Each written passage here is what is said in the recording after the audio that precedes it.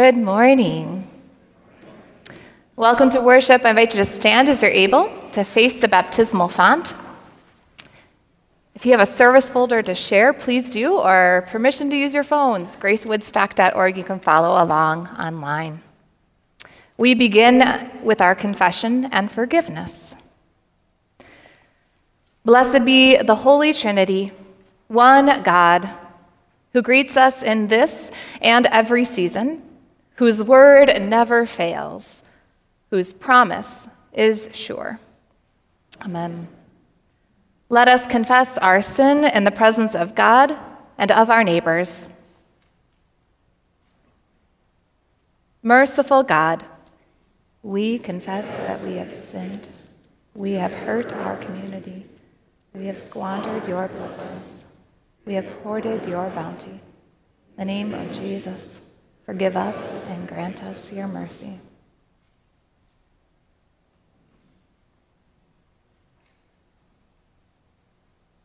Righteous God, we confess that we have sinned, we have failed to be honest, we have lacked the courage to speak, we have spoken falsely. In the name of Jesus, forgive us and grant us your mercy.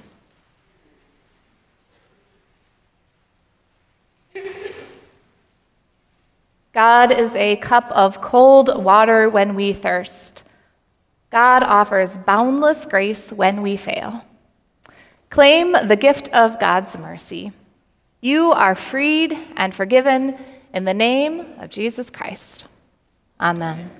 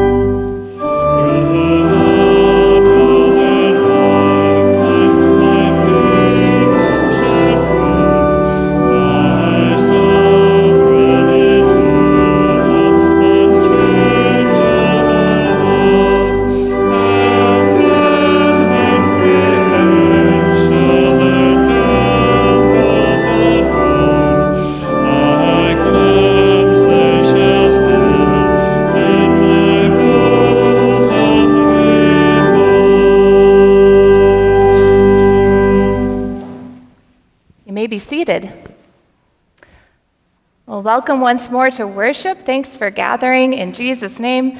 Glad that you're here. I'm glad that you're worshiping at home. A few announcements for our life together in community.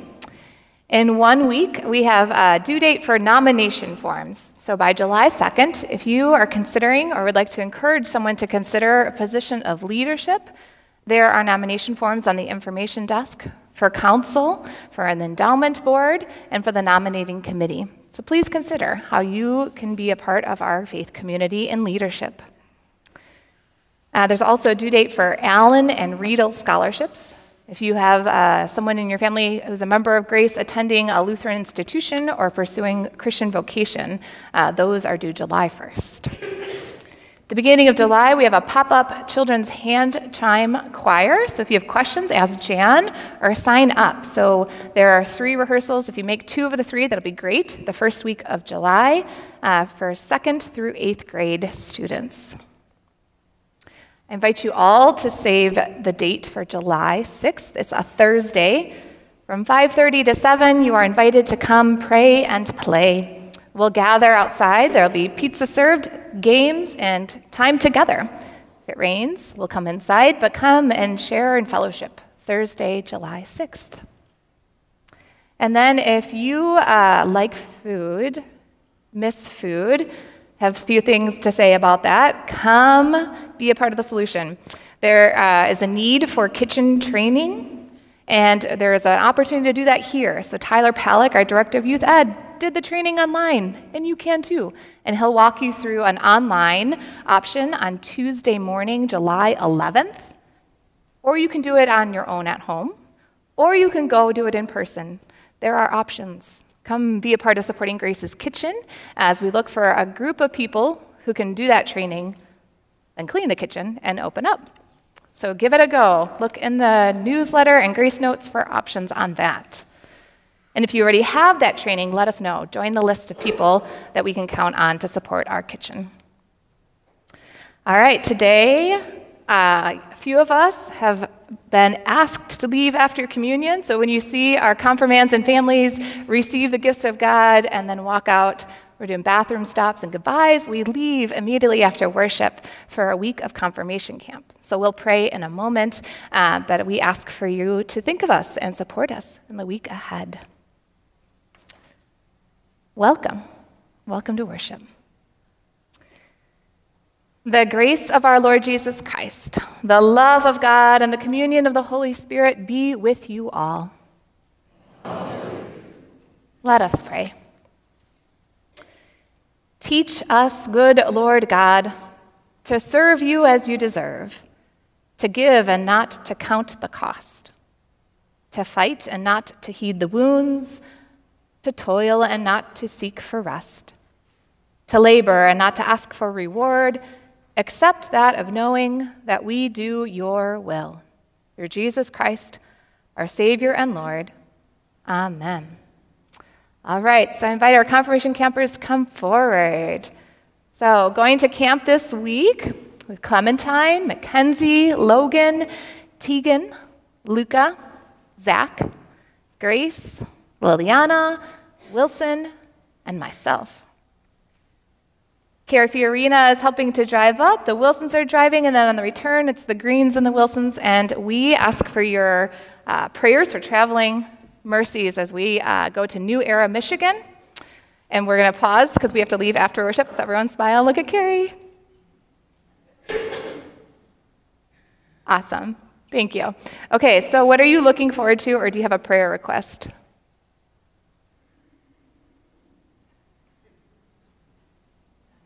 Yeah? I know, I put you on the spot. Anything?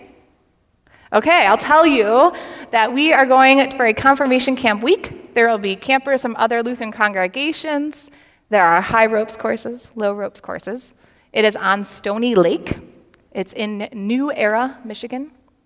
The camp is Living Water Ministries. So follow on Facebook, join our group to look for updates.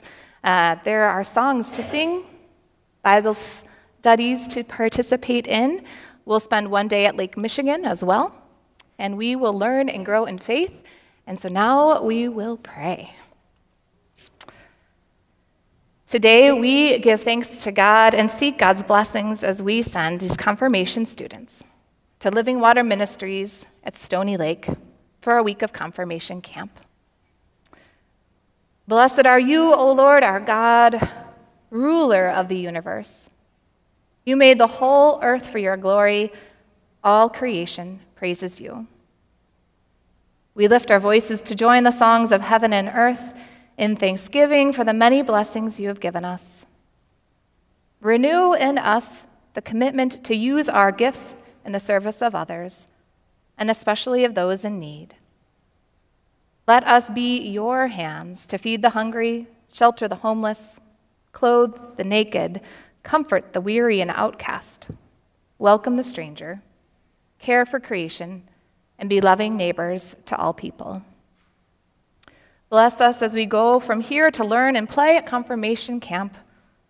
Bless this time together, growing in faith, exploring creation, and nurturing friendship.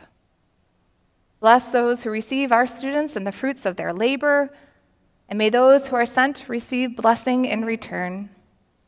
May the gifts they use and share be signs of your love to all people. To you, O God, be glory and honor through your Son, Jesus Christ, in the unity of the Holy Spirit, in your church and in the world, now and forever. Amen. Thank you. Thank you for your prayers.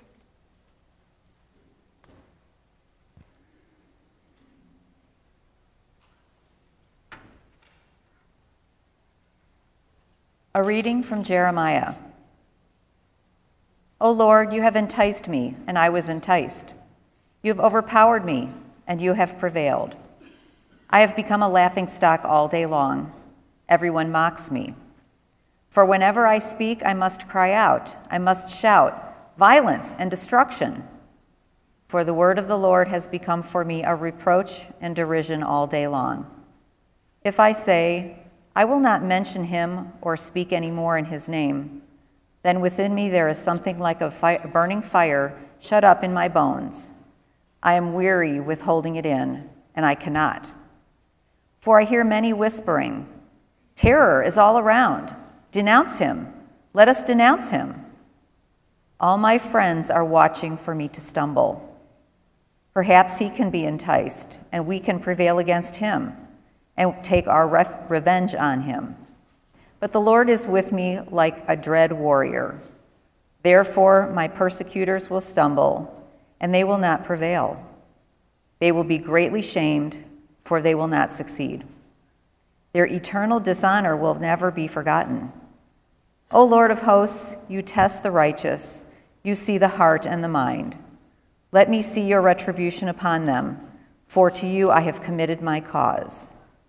Sing to the Lord. Praise the Lord, for he has delivered the life of the needy from the hands of evildoers.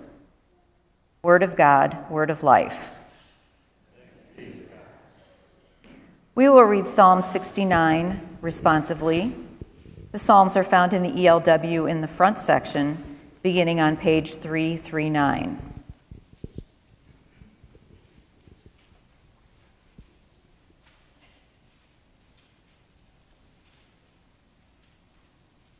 Surely for your sake I have suffered reproach, and shame has covered my face.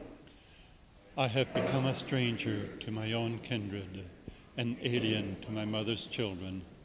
Zeal for your house has eaten me up. The scorn of those who scorn you has fallen upon me. I humbled myself with fasting, but that was turned to my reproach. I put on sackcloth also and became a byword among them. Those who sit at the gate murmuring against me, and the drunkens make songs about me. But as for me, this is my prayer to you at the time you have set, O Lord. In your great mercy, O God, answer me with your unfailing help. Save me from the mire, do not let me sink. Let me be rescued from those who hate me and out of the deep waters. Let not the torrent of waters wash over me, neither let the deep swallow me up. Do not let the pit shut its mouth upon me. Answer me, O Lord, for your love is kind. In your great compassion, turn to me. Hide not your face from your servant. Be swift and answer me, for I am in distress. Draw near to me and redeem me. Because of my enemies, deliver me. A reading from Romans. Should we continue in sin in order that grace may abound? By no means. How can we who died to sin go on living in it? Do you not know that all of us who have been baptized into Christ Jesus were baptized into his death? Therefore, we have been buried with him by baptism into death, so that just as Christ was raised from the dead by the glory of the Father, so we too might walk in newness of life. For if we have been united with him in a death like his, we will certainly be united with him in a resurrection like his. We know that our old self was crucified with him so that the body of sin might be destroyed and we might no longer be enslaved to sin. For whoever has died is freed from sin. But if we have died with Christ, we believe that we will also live with him. We know that Christ, being raised from the dead, will never die again. Death no longer has dominion over him. The death he died, he died to sin once for all. But the life he lives, he lives to God.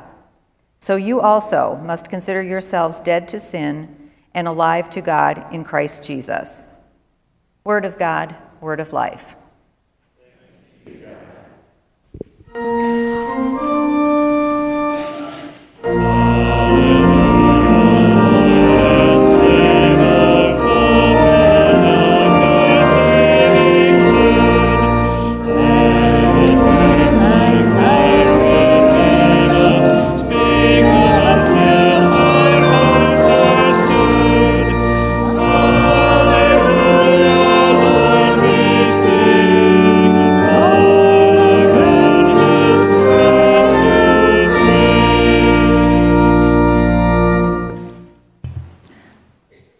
Gospel according to Matthew. Glory to you, O Lord. Jesus said to the twelve, A disciple is not above the teacher, nor a slave above the master. It is enough for the disciple to be like the teacher, and the slave like the master. If they have called the master of the house Beelzebul, how much more will they malign those of his household? So have no fear of them.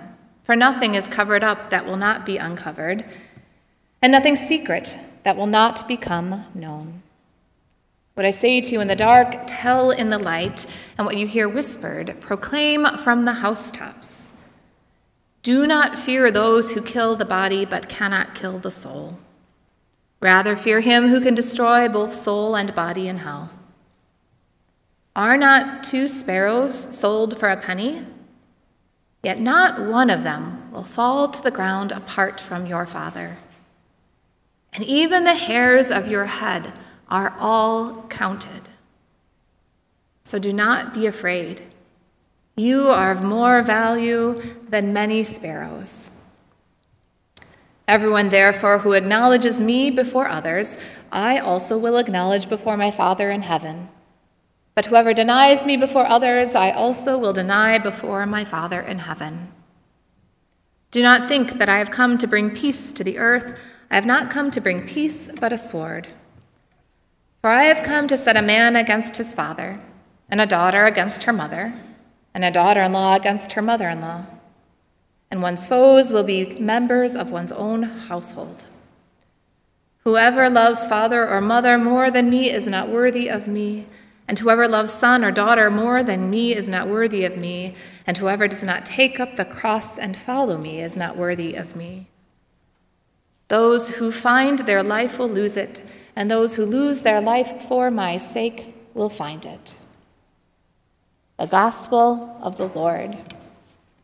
Praise to you, O Christ. May be seated.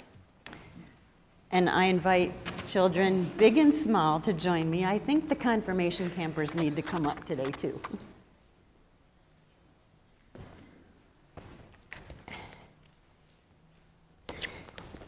I guess.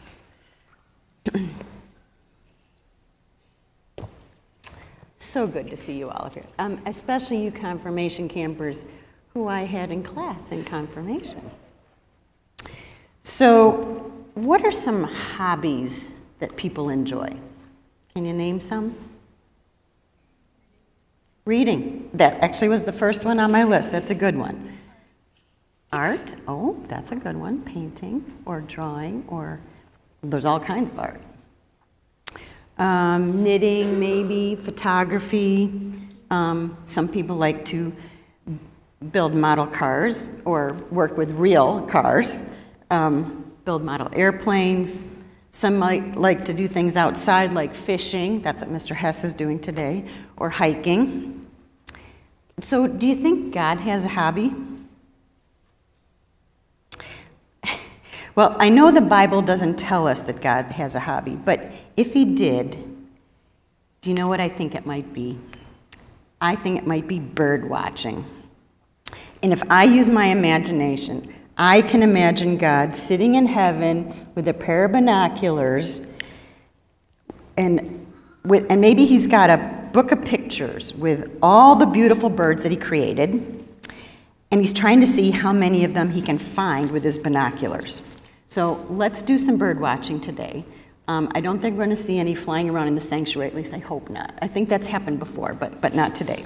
But I'm going to show you some pictures so we can do some bird watching all together, okay? So, even the labels are here. So, what do we got here? An owl, good. Okay, what's next? Pigeon. We see lots of those when we go to the park. Ooh. Eagle. Yeah. They like to hide really up high in their nests. And the little tiny ones that flap their wings all the time. And then what else? Sparrows. Sparrows? We just heard Pastor Amanda talk about sparrows. Well, of course, God would see a sparrow. There are millions of them, and you've seen them. They're common, ordinary little brown sparrows. But God must have loved them because He made so many of them. Well, one day, Jesus was teaching His disciples that they should not be afraid. Jesus said, Don't be afraid when people threaten you. Two sparrows are sold for a penny, but not a single sparrow falls to the ground without your Father knowing it. So don't be afraid. You are more valuable to God than a whole flock of sparrows.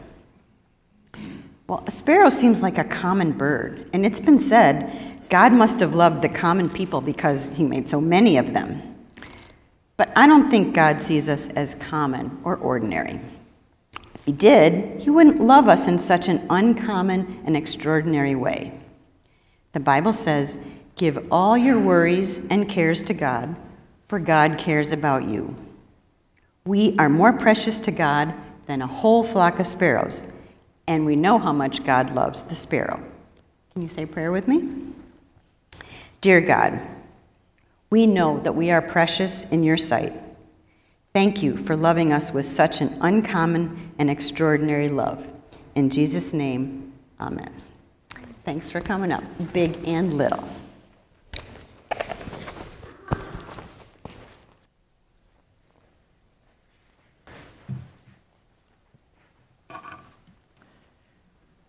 In the Trolls movie, there's this catchy little Justin Timberlake song.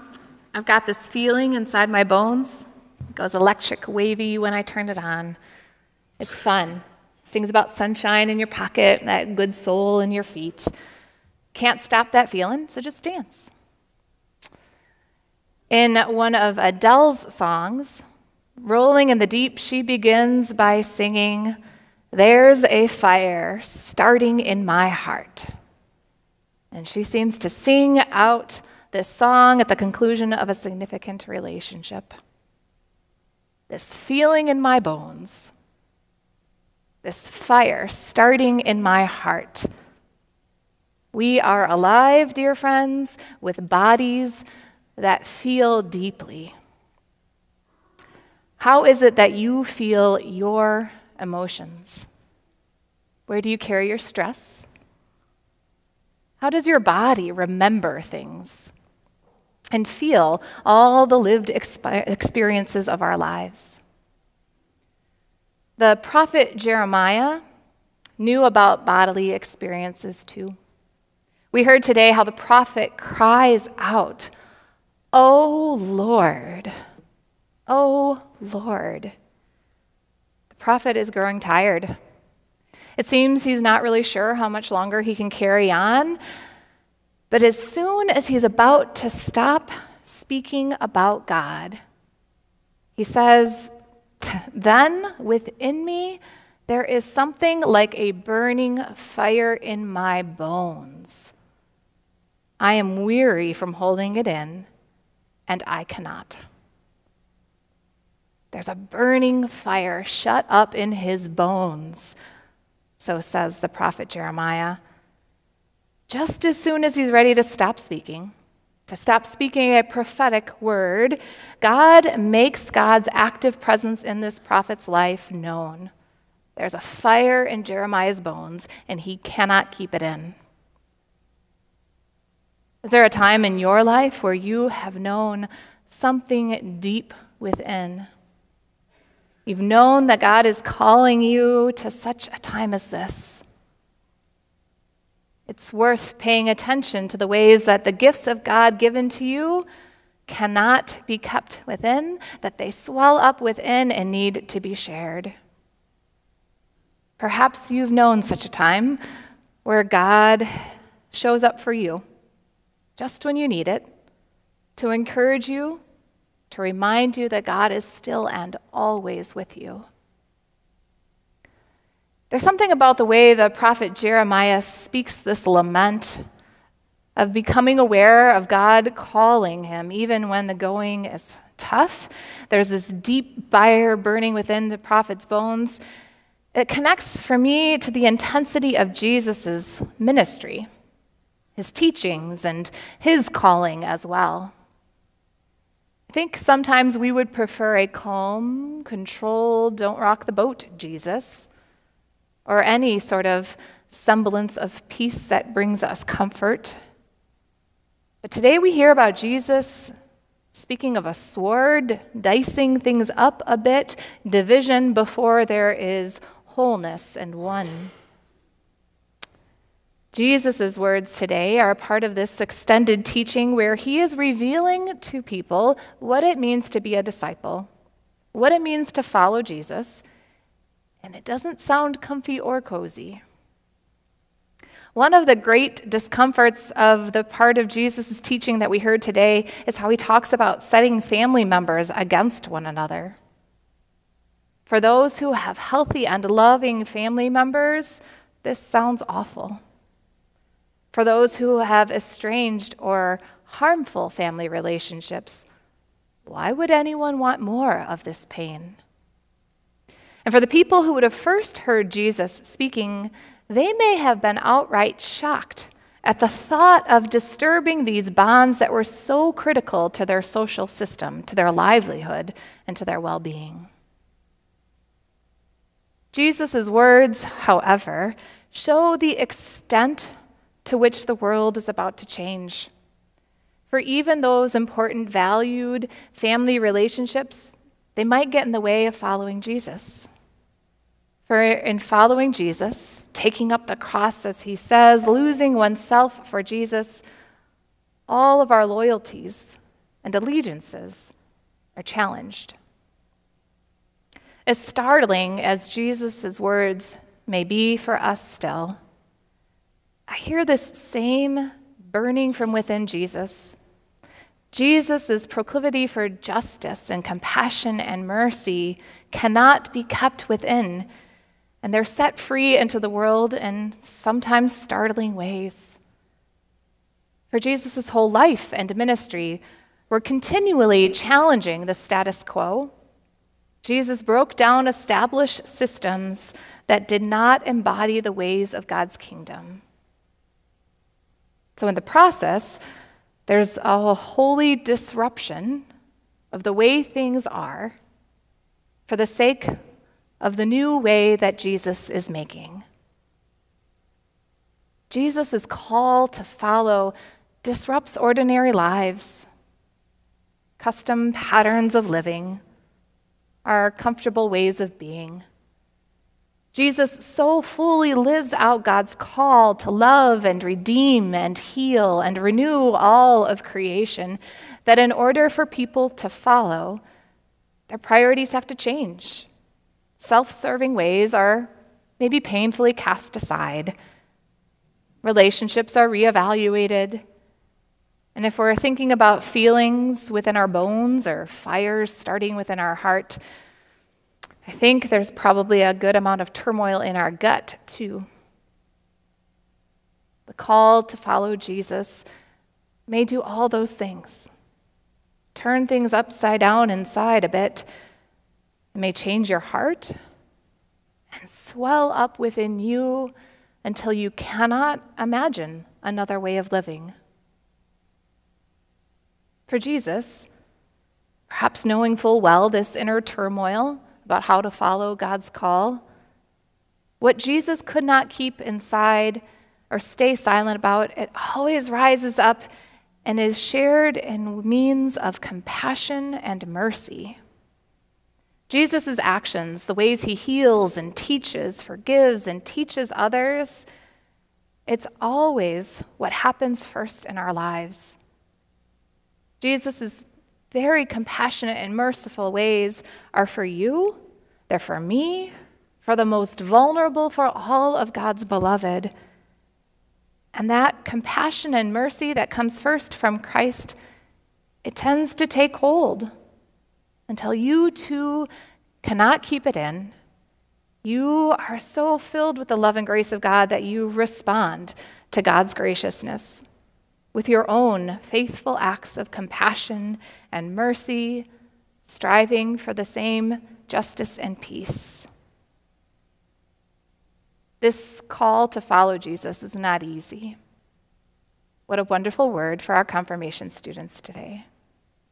Preparing for this week at camp, for continued lives of living out their faith.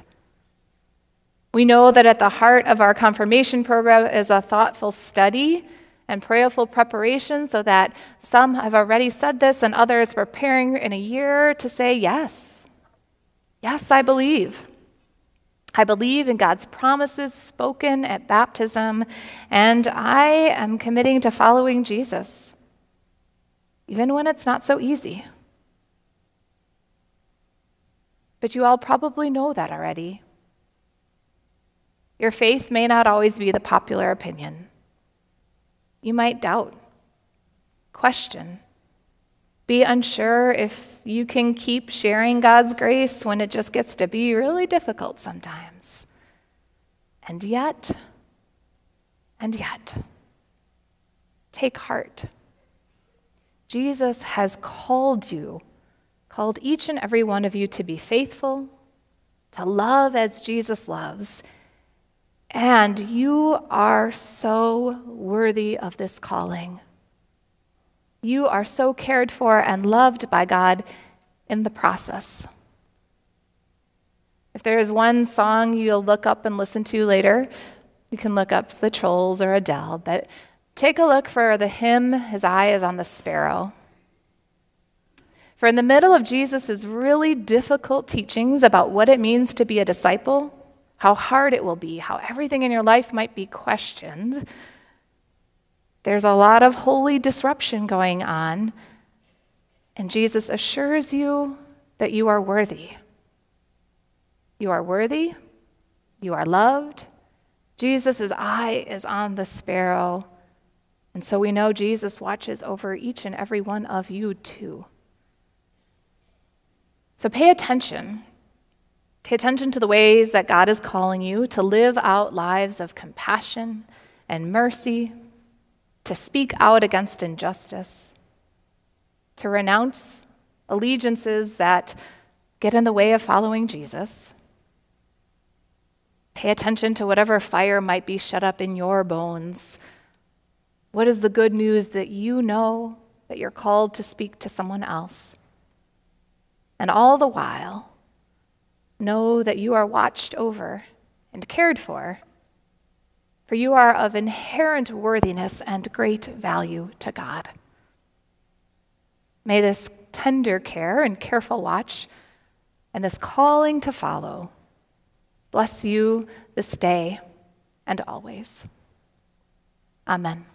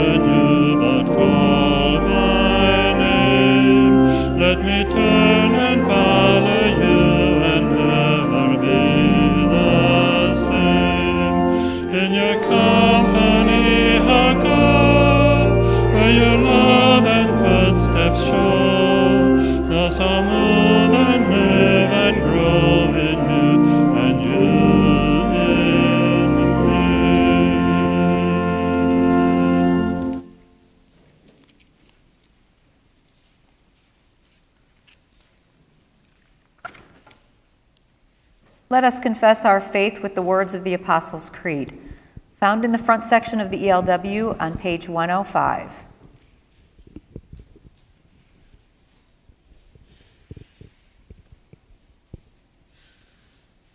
I believe in God the Father Almighty, creator of heaven and earth. I believe in Jesus Christ, God's only Son, our Lord, who was conceived by the Holy Spirit, born of the Virgin Mary, suffered under Pontius Pilate, was crucified, died, and was buried. He descended to the dead. On the third day he rose again. He ascended into heaven. He is seated at the right hand of the Father, and he will come to judge the living and the dead.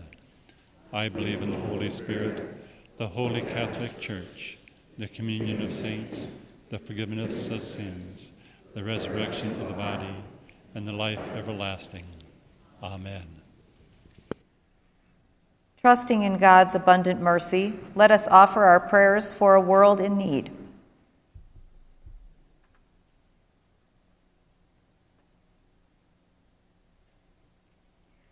You entice your church to speak truth that challenges false notions of peace. Prevail upon us with the good news of Christ's death and resurrection, that we are compelled to share the gospel with all the world.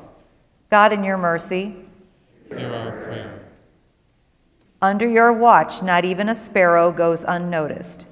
Safeguard plant and animal habitats threatened by melting glaciers, rising oceans, and receding coastlines. Amplify the voices of those calling for responsible stewardship of the earth's resources. God, in your mercy, Hear our prayer. Our world is enduring violence and destruction. Rescue your people in nations experiencing conflict or crisis. Thwart the efforts of those who sow chaos and terror, and guide those working to bring about peace and reconciliation. God, in your mercy, Hear our prayer. you have counted even the hairs of our heads. Reassure anyone experiencing poverty, homelessness, unemployment, or exploitation that every life has value. Look favorably upon all who struggle, especially those we now name aloud or in the silence of our hearts.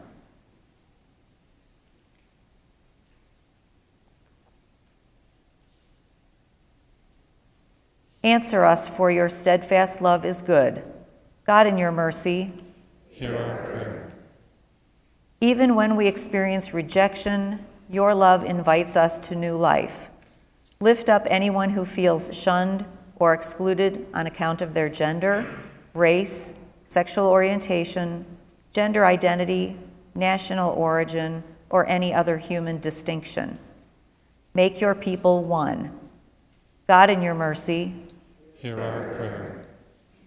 all who have died with Christ also live with him. We give thanks for Hazel Postma and all the saints whose faithful confession inspired our own discipleship and raise us with them to eternal life. God, in your mercy, our. Receive our prayers and answer us, O God, in the name of Jesus Christ. Amen. The peace of Christ be with you always. And also with you. We share a sign of Christ's peace. Peace with you. Peace. Peace.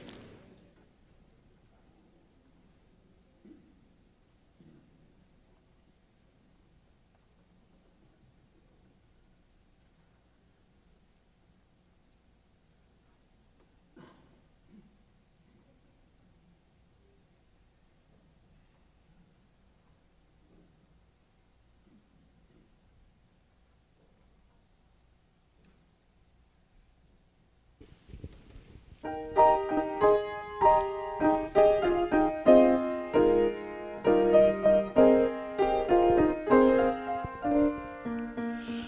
who are led by the Spirit of Jesus, all those who walk in the footsteps of Christ, all those who follow where love may lead them, are the sons and the daughters, the children of God.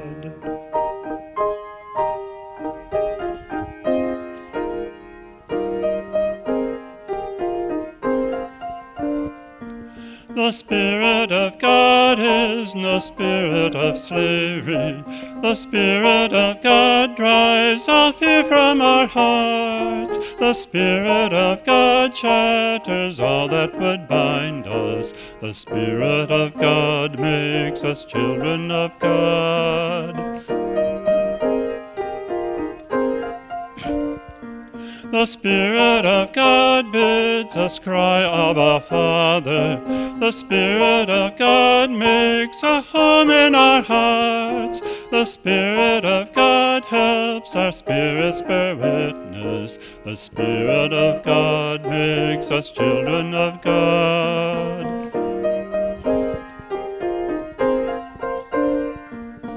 All the Spirit of Jesus, all those who walk in the footsteps of Christ, all those who follow where love may lead them, are the sons and the daughters, the children of God.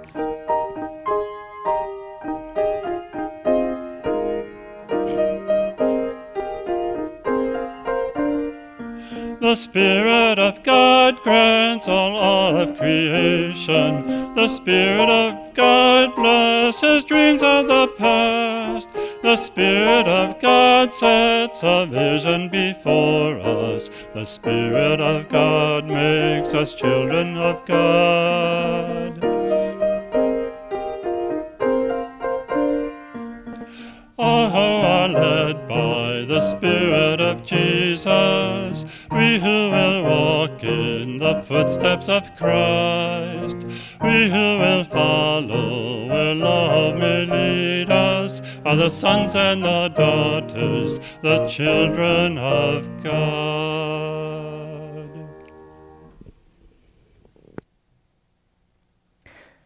We give thanks for your generosity in giving, for your offering to support the ministry God is calling us to.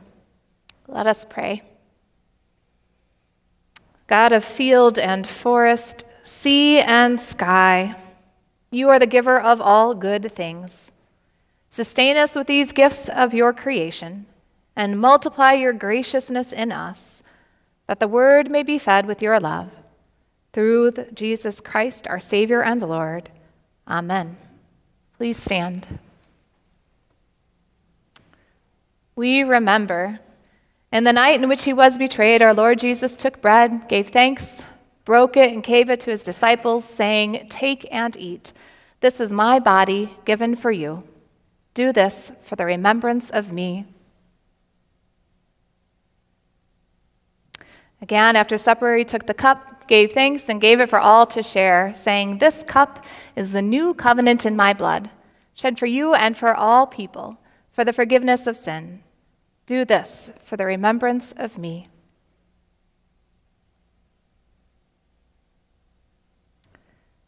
Our Father in heaven, hallowed be your name. Your kingdom come, your will be done, on earth as in heaven. Give us today our daily bread. Forgive us our sins, as we forgive those who sin against us. Save us from the time of trial, and deliver us from evil.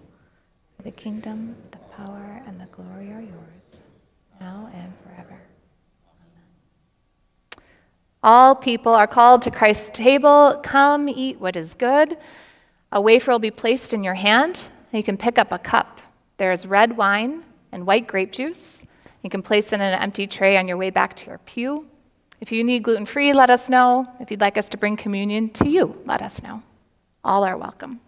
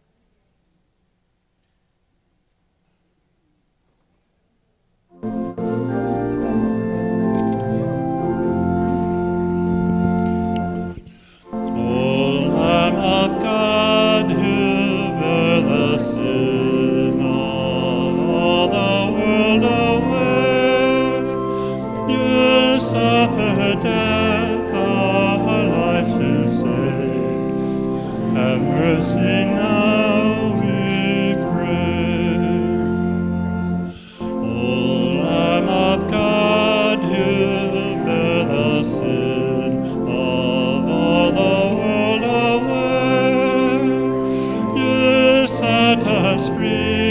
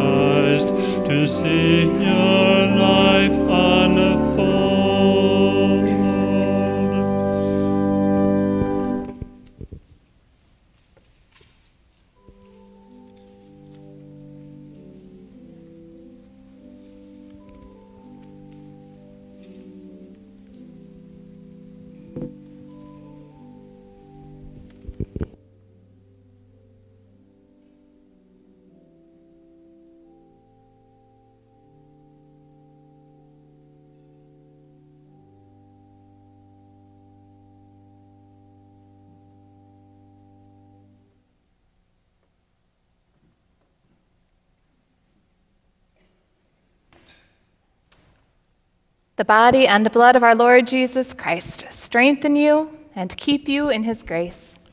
Amen. Amen. The God who calls across the cosmos and speaks in the smallest seed, bless, keep, and sustain you now and to the end of the age. Amen. Amen.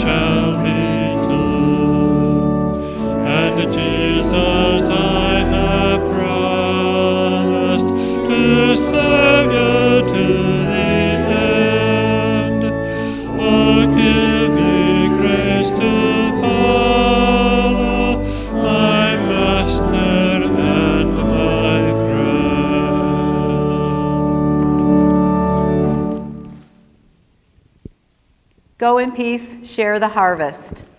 Thanks be to God.